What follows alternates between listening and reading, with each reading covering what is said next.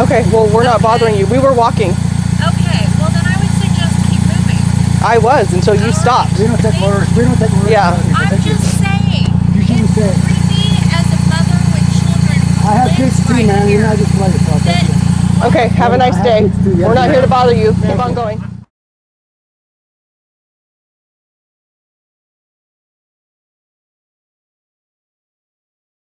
Ha!